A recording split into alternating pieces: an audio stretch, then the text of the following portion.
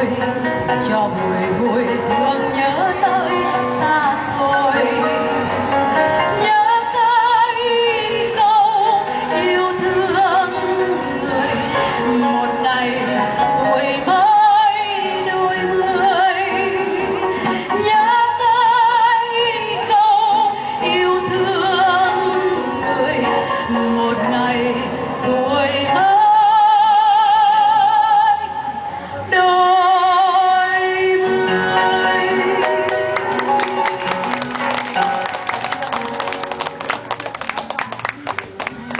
cảm ơn chị Trà My à,